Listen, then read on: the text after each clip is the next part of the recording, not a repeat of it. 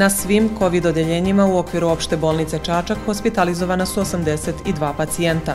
Na lečenju u bolnicama u Zlatiborskom okrugu je 230 COVID pacijenata. U prehrambeno-ugostiteljskoj školi u Čačku održana je završna konferencija u okviru projekta Informiši se i ti. Prvi sneg zadržao se i na ulicama Užica. Plan zimskog održavanja ulica, puteva i gradskih javnih površina usvojen je na sednici Gradskog veća Užica krajem oktobra. Turistička organizacija Zlatibor nastupila je na 12. Međunarodnom sajmu turizma i seoskog turizma u Kragujevcu. Predavanjem na temu Kulturna diplomatija i srpsko pitanje profesor dr. Darko Tanasković Dom kulture u Čačku započeo je obeležavanje velikog jubileja 50 godina rada. U Srbiji će sutra posle oblačnog jutra i ponegde slabe kiše ili snega biti pretežno sunčano i toplije. Najviša temperatura do 15 stepeni. Poštovani gledaoci u Srbiji i Dijaspori, dobroveče. Gledate glasnik, centralnu informativnu emisiju na programu regionalne televizije Lav Plus. Ja sam Bojana Milanović. Na svim COVID-odeljenjima u okviru opšte bolnice Čača hospitalizovana su 82 pacijenta. U respiratornom centru smešteno je 10 pacijenata, a nema pacijenata na respiratoru. U protekla 24 časa bio je prijem troje i otpust sedmora pacijenata.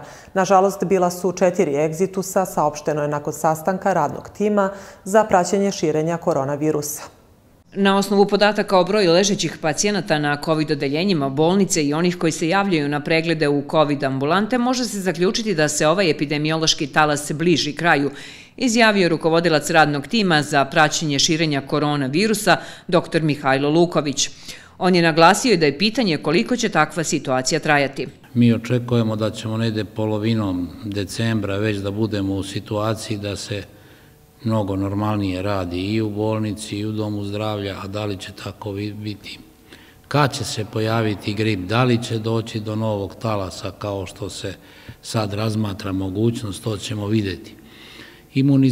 Broj e, pozitivnih u ukupnom uzorku pada na 15-16 sa 30 na početku meseca.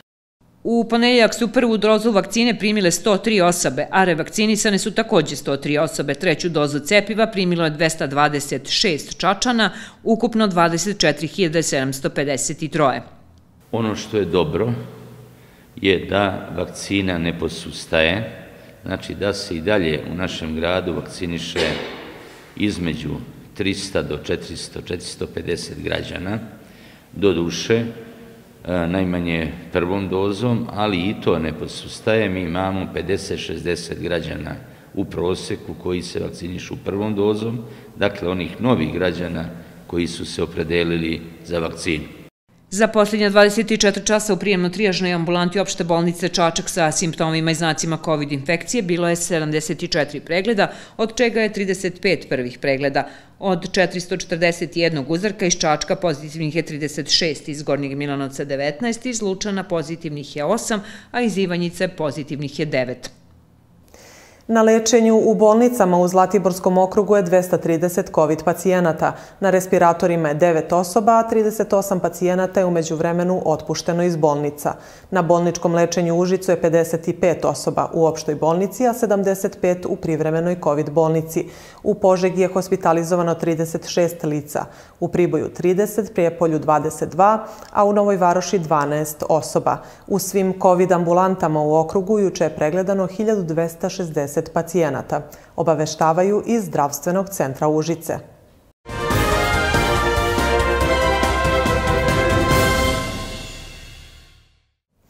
Povodom obeležavanja Međunarodnog dana borbe protiv nasilja nad ženama, Udruženje Larisi iz Čačka i Snaga prijateljstva Emiti iz Beograda organizovali su danas skup pod nazivom Prevencija nasilja nad starijim ženama u uslovima pandemije, izazovi i unapređenje pristupa uslugama. Skup ima za cilj da podigne svest starijih žena o različitim oblicima nasilja u porodici i podrži njihovo osnaživanje kako bi mogle da se odvaže da prijave nasilnike. Posebna pažnja bi trebalo da bude posvećena sprečavanju i zaštiti od rodno zasnovanog nasilja prema starijim ženama, koje je veoma rasprostranjeno, kao i u napređivanju i razvoju usluga u zajednici kojima će se ženama pružiti svi vidovi podrške. Želimo da poručimo onima koji pružaju usluge zaštite od nasilja, e, zaposlenima u centrima za socijalni rad, u zdravstvu, u policiji, u pravosuđu, u sudstvu, da budu posebno osetljivi kada je u pitanju e, nasilje nad starijim osobama, a posebno nad starijim ženama, jer su one u najvećem riziku i najčešće, čak i kada se osmele da ga prijave, one već na prvom koraku, kada treba da daju izjave oko toga šta je bilo i kako kako je bilo ili kada se donese hitna mera onome ko je ovaj, izvršio e, nasilje pa se izdvoji iz porodice 24 sata ili 48 sati, a one se onda povlače i kažu da su pogrešile da ne trpe nasilje. Dakle, da oni ne nasednu na to i da prekidaju proceduru.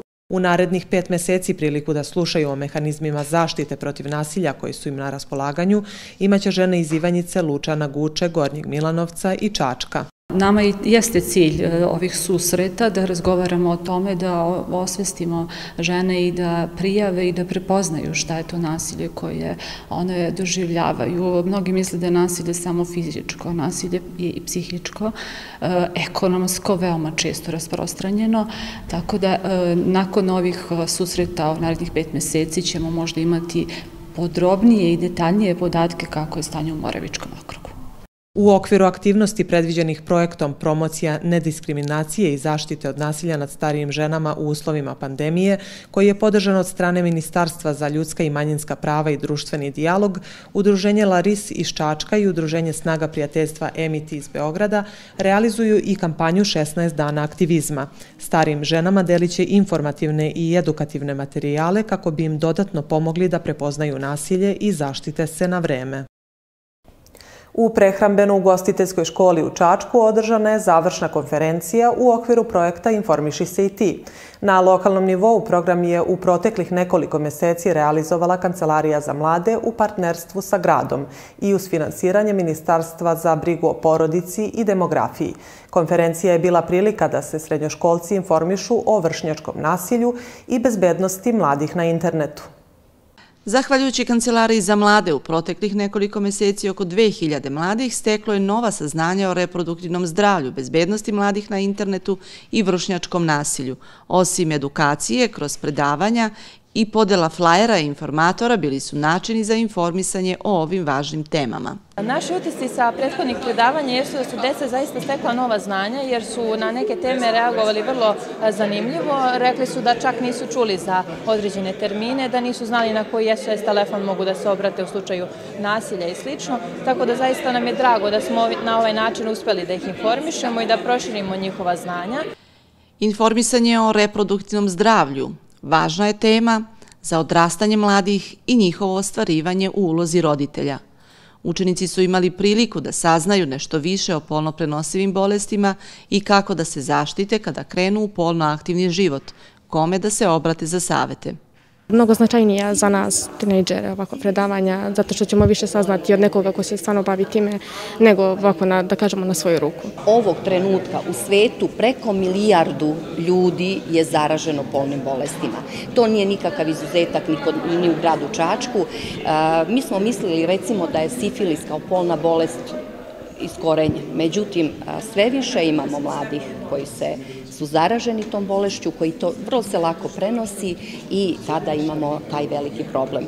Ono što na tim našim čestim edukacijama mogu da, da mene iznenadi jeste e, koliko naši mladi ljudi malo poznaju i način prenošenja i koliko je to značajno za njihov budući život i tako dalje. Mislim da je ova edukacija, pogotovo ovaj projekat Kancelarije za mlade, jako značajan jer e, kako ćete najbolje lečiti neku bolest? Tako što ćete prevenirati. O bezbednosti mladih na internetu govorio je profesor geografije Vladimir Majstorović. Digitalno nasilje je sve prisutnije, ali i o njemu mladi malo znaju ili se nedovoljno informišu. I ovo je način i pristup kako da im pomognemo izađemo u susret kako bi sprečili eventualno potencijalna nasilja na polju digitalnih tehnologija koje podrazumeva znači, i upotrebu i računara, e, i interneta i e, mobilnih telefona i raznih aplikacija koje oni koriste. Dosta toga, aktivnosti i projekata i predavanja i tribina držimo u cilju bezbednosti mladih i stvaranja bezbednih uslova i e, okruženja za razvoj i učenje dece. Iz Kancelarije za mlade poručuju da će nastaviti saradnju sa Ministarstvom za brigu o porodici i demografiju. Planiraju na proleće realizaciju novih projekata sa novim temama važnim za mlade.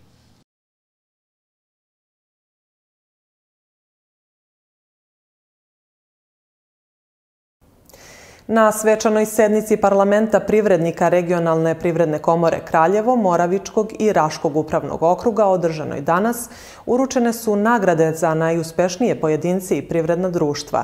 Priznanje za regionalnog poslovnog lidera na planu upravljanja i rukovodjenja dobio je magistar Radoš Milovanović, generalni direktor preduzeća Milan Blagojević Namenska Lučani. Ovo priznanje, kako je saopšteno iz fabrike Milan Blagojević Namenska AD Lučani, potvrda je da je magistar Radoš Milovanović zaslužan za razvoj i napredak preduzeća i da je na mestu generalnog direktora dao pun doprinos radeći odgovorno i savesno. A prvi sneg zadržao se i na ulicama Užica. Plan zimskog održavanja ulica, puteva i gradskih javnih površina usvojen je na sednici Gradskog veća Užica krajem oktobra.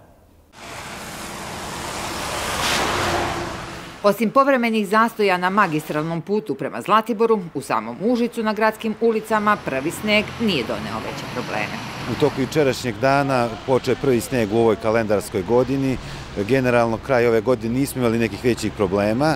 E, u dogovoru smo juče krenuli sa podasipanjem i soli i rizlom i kombinacijom soli i rizle, tako da nadamo se da nije bilo nekih problema. E, mi smo u kontaktu i sa javnim gradskim prigradskim prevozom, da jutro nije imalo većih problema na svim e, putnim pravcima, tako da su generalno svi polasi koji su trebali da budu bili i održani, odnosno polasi su bili krenuli svih e, mesnih zajednica, odnosno svih polazišta.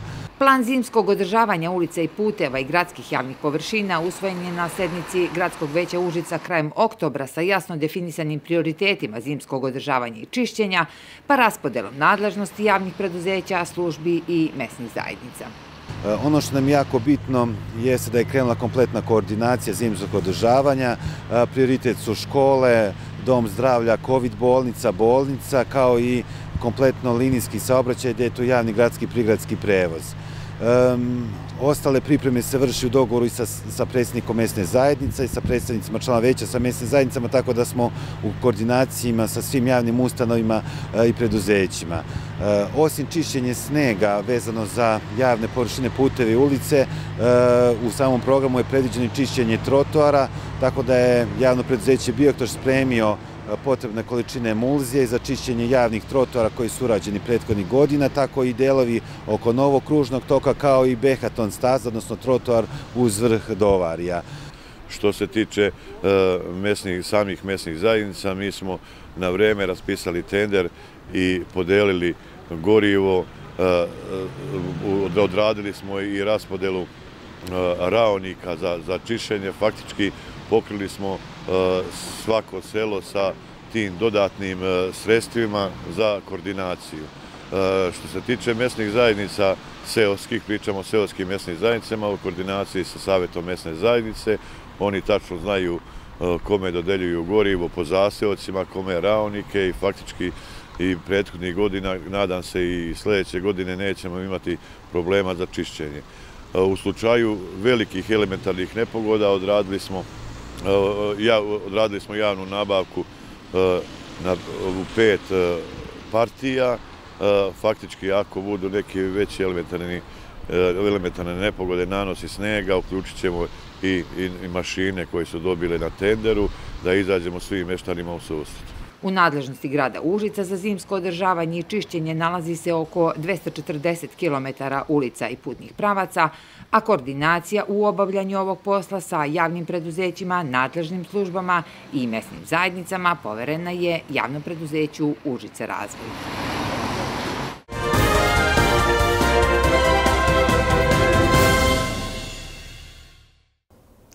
Predavanjem koje je sinoć održano na temu Kulturna diplomatija srpsko pitanje, o čemu je govorio profesor dr. Darko Tanasković, Dom kulture u Čačku, započeo je obeležavanje velikog jubileja 50 godina rada. Centralna proslava biće održana u petak 3. decembra, a sve projekcije i drugi sadržaj u nedelju jubileja biće besplatni. Nakon predavanja održanog u organizaciji kulturno-obrazovnog programa kojim je započeto obeležavanje 50 godina rada Doma kulture, utorak je rezervisan za ljubitelje filma.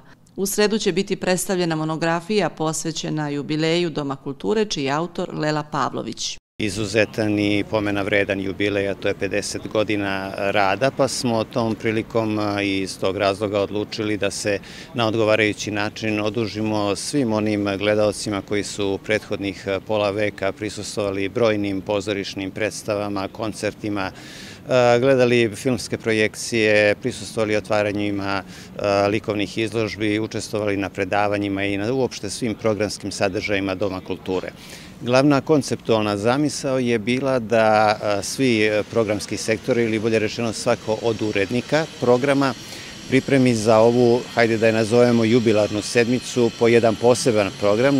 U četvrtak će uživati ljubitelji klasične muzike. Publici će se predstaviti Akademski orkestar, akordeonisti iz Kragujevca. Na našoj sceni će se predstaviti preko 20 harmonika, bandoneon, klavir, harfa, flauta, četiri timpana i bubnjevi. Na programu će se naći najpoznatija dela Pjacole i Markeza. Orkestrom diriguje i inače rukovodi profesor Predrag Kostović koji je i e, takođe također profesor na katedri za harmoniku. U petak će na velikoj sceni biti izvedena predstava pozorišta Madlenijanum da krenemo iz početka Erika Emanuela Šmita. Zaista nam je čast što će nakon premijere koja je bila u Madlenijanu u oktobru mesecu i dalje se igra, naša publika van Beograda imati prva priliku da je pogleda, kao što sam rekla, na velikoj sceni u okviru obeležavanja jubileja. Da krenemo iz početka je predstava koja se bavi e, relativitetom vremena i prostora. U glavnim ulogama se nalazi Slavko Štimac i Ljubomir Bulajić. Pored njih tu su i Branka Petrić, Tamara Aleksić, Lana Karaklajić, e, Natalija Vlahović i drugi. PR Doma kulture najavljuje u narednom periodu napređenje svih programskih sadržaja koji će biti predstavljeni publici iz Čačka, ali i iz drugih okolnih gradova. Situacija trenutna je takva kakva je i moramo joj se prilagoditi, pa bih iskoristio i ovu priliku da podsjetim e, naše sugrađene da još uvek e, važe odgovarajuće mere Republičkog kriznog štaba, između ostalog i korišćenje, obavezno korišćenje za svo vreme trajanja programa e, zaštitne maske i držanje odgovarajuće fizičke distance u velikoj sali i uopšte u svim prostorima Doma kulture. Jakovljević podsjeća da će centralni događaj povodom velikog jubileja biti održan u petak 3. decembra u velikoj sali sa početkom u 20 časova. Turistička organizacija Zlatibor nastupila je na 12. Međunarodnom sajmu turizma i seoskog turizma u Kragujevcu. Pored stalnih i potencijalnih turista, štand Zlatibora bio je interesantan brojnim medijima, poslovnim saradnicima, turističkim agencijama, a posebno interesovanje je, pored atraktivnih lokaliteta, izazvao i program dešavanja za novogodišnje praznike na ovoj planini. Zlatibor svake godine privlači veliki broj turista iz Kragujevca i cele Šumadije, pa je ovaj sajam bio prilika da se starim i budućim turistima predstave novi sadržaj i turistička ponuda ove planine. Posetioci ovogodišnjeg sajma najviše su bili zainteresovani za cene hotelskog i apartmanskog smeštaja za predstojeću zimu, ponude ski škola kao i ski centra Tornik, adrenalinskih sadržaja, a po najviše za program dočeka nove godine. Opština Čajkina izašla i sa programom manifestacija za novu godinu. Potrudili smo se nekako da program bude onako raznovrstan sadržajan i uh, u tri dana program kreće zapravo 31. decembra kada će u toj novogodišnjoj noću u samom dočeku na Kraljevom trgu nastupiti Alim Islamović, Vesna Zmijanac uz pratnju Drubačkog orkestra Dejana Jevđića. Uh, 1. januar je planiran za koncert Cenide, a 2. E, januar je planiran za koncert Parnog Valjka i nekako smo se trudili da napravimo jedan razvrstan program i da taj program prilagodimo svim generacijama. Mi zaista verujemo da će na Zlatiboru biti e, turista za vreme nove godine i novogodišnjih praznika i do 40.000, a nakon toga e, sigurno 30 do 35.000 gosti u kontinuitetu tokom trajanja zimske turističke sezone. Veliku pažnju posetioci su i ovoga puta iskazali za atraktivna mesta u okolini Zlatibora kao što su Stopića pećina, Gostinski vodopad, Muzej Staro selo u Sirogojenu, El Paso City, ali i nezaobilaznu najdužu gondolu. Već sada e, radimo nekih 10 punih meseci, malo jače. Do sada smo prevezli 230.000, oko 230.000 putnika. Imali smo putnike sa svih meridijana, počevo od daleke Indije, Kine, Pakistana, čak i ruske kosmonaute smo, aktivne ruske kosmonaute ugostili u jednom trenutku. Utisci su više nego pozitivni svih naših e, gostiju, svih naših putnika. E, prvi, znači prva impresija je sama dužina trase koja je duga 9 km i dužina trajanja vožnje koja u jednom pravcu traje 30 minuta, znači čitav krug ukoliko ne izlaze na vrhu ili na među stanici traje oko sat vremena tako da imaju dovoljno vremena i da uživaju u prelepim pejzažima koje uh, tom prilikom uh, mogu da vide, da se fotografišu, da posle toga kačete iste fotografije na društvene mreže i ostalo. Mislim da, da imamo razloga da svakako budemo više nego zadovoljni i rezultatima i samim zadovoljstvom naših putnika.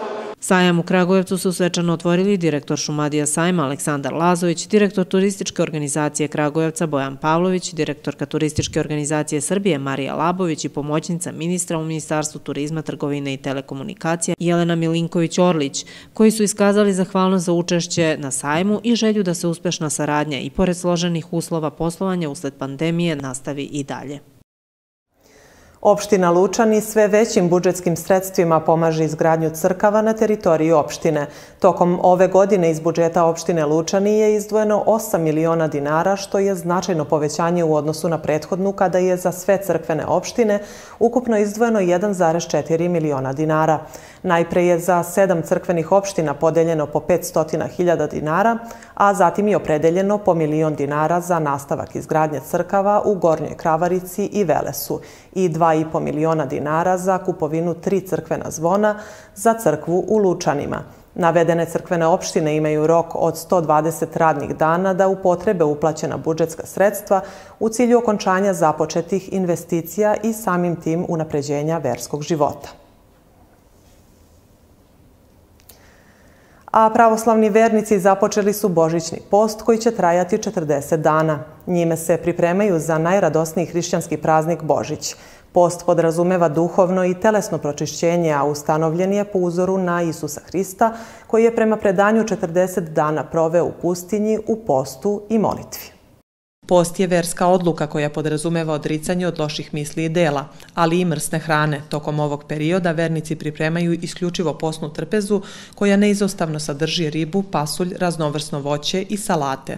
Čačani su danas na zelenoj pijaci u potrazi za takvim namirnicama. Kupujem na pijaci kad je ovo što mi treba, ono što mi ne treba ne kupujem. I na kraju Čačanska pijaca je i dobra i ovo ali nekad e, je bilo i skuplje i ja sam išao u Kraljevo. Postim samo ne glavne postinače, ovako redovno što sad ovo za Božić ne. Kakve su cene ribe, pasulja? Ma sve je poskupilo, iskreno svi to vidimo. Što se tiče cena, sve je skupi, ali šta je tu je? Sve je to normalno. Normalno, nije to mnogo skupo. Treba to proizvesti. Osim sredom i petkom kada se vernici pridržavaju posta na vodi, prodavci u ribarnicama imaju dosta posla. Iako je cena ribe nešto veća u poslednjih mesec dana, podjednako se traže i morske i rečne vrste. Najviše riba koja se traži je ziv šaran i ziva pasranka. Šaran 499 dinara, pasranka 589 dinara. I riba koja se traži e, od morski je e, oslić i iskuša. To su najtraženije. To su najtraženije ribe, da. Ovo ostalo je sve prodaje se, ali... Imaju li čačani naviku da redovno kupuju ribu? Pa, malo više. Sad vam posta. Bilo je posla, nije preterano, ali obično sreda, petak, e, kupuju ribu. U vreme posta ponuda na pijaci je raznovrsna i bogata. Najviše se traži pasulj, salate, razne vrste suvog i svežeg voća. Kupuju pretežno jabuke, jer su one najjeftinije, malo južno voće, pasulj, prazu, roku i tako. Kakve su cene? Da li su se menjale cene? Nisu se menjale cene. Jabuka je najjeftinija, pasulj je ostao isti, povrće isto, tako. Koliko je kilogram jabuka? Kilogram jabuka od 30 do 70 dinara najskuplja. Kožara je 120. A pasulj? Pasulj 300 dinara. Ipak važnije od telesnog odricanja jeste duhovno pročišćenje koje je suštinska priprema za svetu tajnu pričešća. Savladavanje iskušenja i stremljenje ka čistoti duha starije je i od samog hrišćanstva.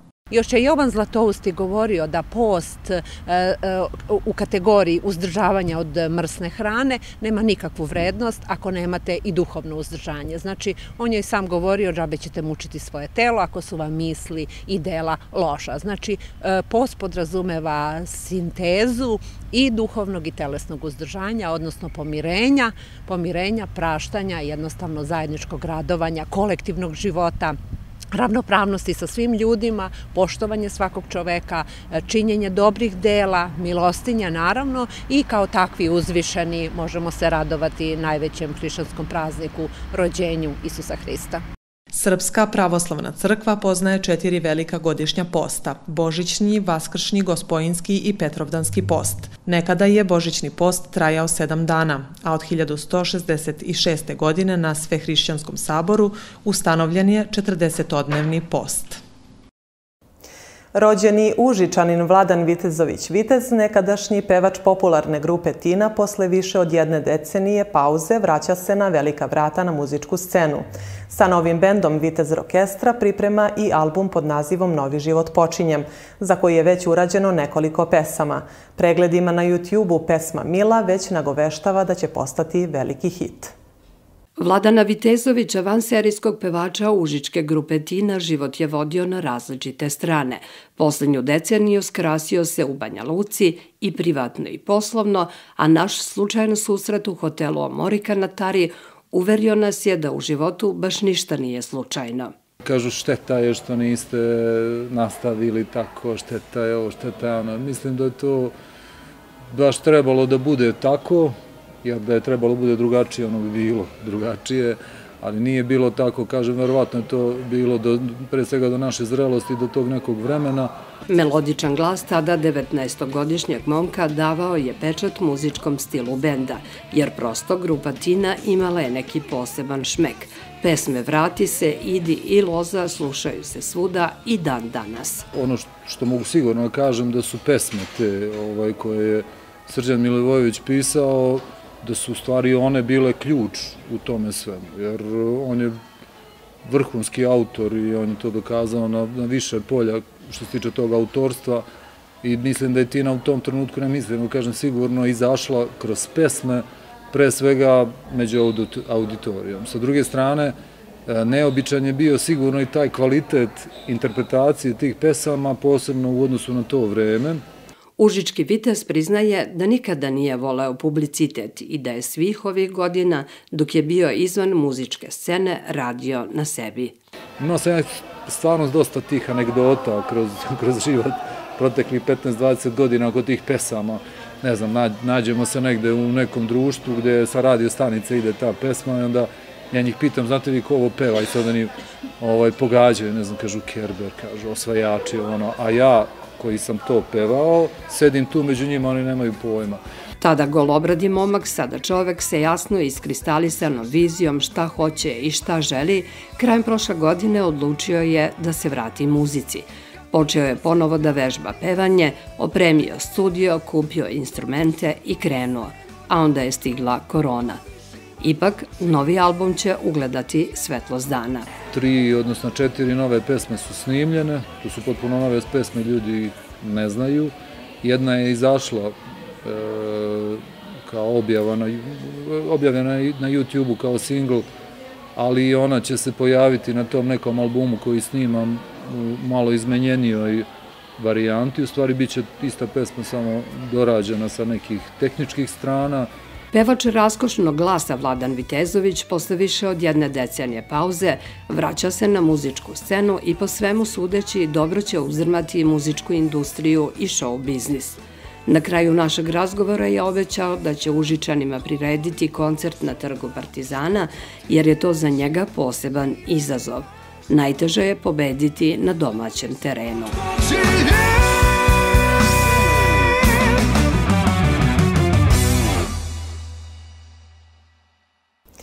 Gledate glasnik, ostanite sa nama. Nakon kratke pauze slede vesti iz sporta.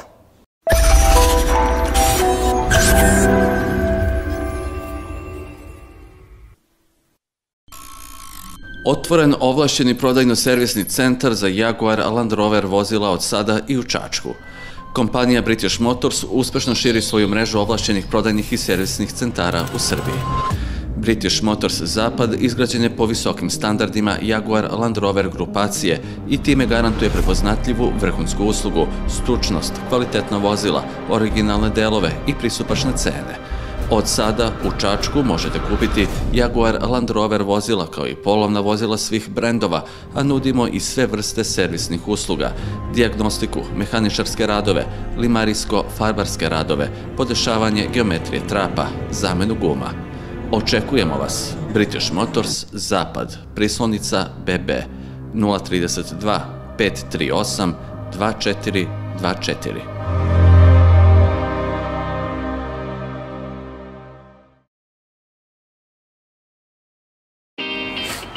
Ja sam Gosan Spasić, a ljubav ume da boli. Na primjer, Lepa Marija nije ni sanjala da će ipak otkriti onu stranu Marka koja će je oboriti s nogu. Oh yeah! Dva, tri i bum! Hmm? Ali ne brinite. I Lepa Marija je promišljena devojka, pa je meni lako da joj zalečim i telo i dušu. A ovo je početak jednog divnog prijateljstva. Hm? Hmm? Tehnički pregledi Bavarija Tim Čačak, Moravska 11 i Bavarija Centar u Preljini u saradnji sa Automotosavezom Srbije nudi svojim sugrađanima najpovoljnije. Kompletnu registraciju vozila bez odlaska u MUP. Plaćanje registracije na rate putem administrativne zabrane čekovima građana. Članstvo u Automotosavezu Srbije. Prodaja i dopuna uređaja za elektronsku naplatu putarina.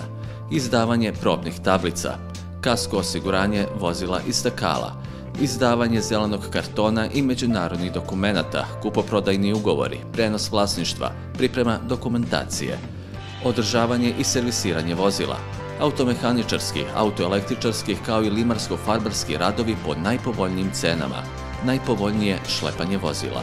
Auto Motosavez, Bavarija, Tim Čačak i Bavarija Centar Preljina, spoj tradicije i sigurnosti. Kontakt telefoni Bavarija Tim Čačak. Tehnički pregled 032 343 097. Servis 032 323 070. Bavarija Centar Preljina 032 381 127. Sve na jednom mestu. Dobrodošli.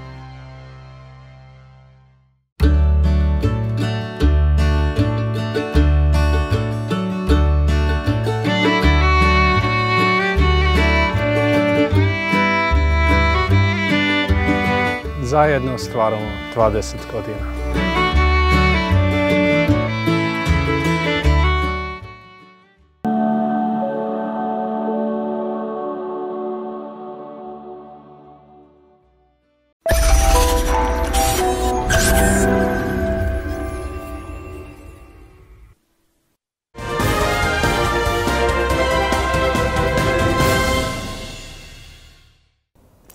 Selektor ženske rukometne reprezentacije Srbije Uroš Bregar saopštio je danas spisak igračica za predstojeće svetsko prvenstvo koje se održava u Španiji. Reprezentacija će put Španije krenuti u sredu ujutru, a prvi meč u grupi B na svetskom prvenstvu Srbija igra u petak u 20.30 protiv Poljske preneo je Rukometni savez Srbije. Drugi meč Srbija igra protiv Kameruna u nedelju, dok posljednji meč grupne faze selekcija Srbije igra protiv Rusije 7. decembra. Srbija će mečeve grupne faze igrati u Liriji. Svetsko prvenstvo za rukometašice u Španiji trajaće od 1. do 19. decembra. U organizaciji Auto i Moto Saveza Srbije juče u Beogradu održano je proglašenje najboljih u motosportu za ovu sezonu. Vozač ekipe Termorad AMSK Čažak Aleksa Milosavljević u klasi MX85 je pored osvojene titule šampiona dobio i zlatnu kaciku Moto Saveza Srbije za tri uzastopno osvojene titule. Drugi vozači istoimenog kluba Miloš Đorđević u klasi MX1 i Vlade Rajević u klasi MX3 osvojili su vice šampionske titule, dok je Milan Vukajlović osvojio treće mesto u klasi MX 125. Vozači ekipe Tanas Korajić, Vuk Ćajić u klasi MX 65 i Nenad Petrović u klasi MX2 osvojili su vice šampionsku titulu, dok je Branko Radanov osvojio treće mesto u klasi MXS. U ukupnoj konkurenciji ekipa Termorad AMSK Čačak osvojila je šampionsku titulu u klasi ekipa klubova 1.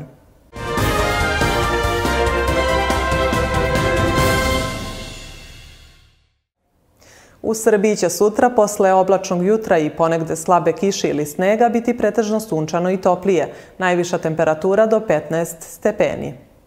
U Srbiji će sutra posle oblačnog jutra i ponegde slabe kiše ili snega biti pretežno sunčano i toplije. Vetar će biti slab i umeren južni i jugozapadni. Najniža temperatura biće od minus 5 do 2, a najviša od 6 do 15 stepeni.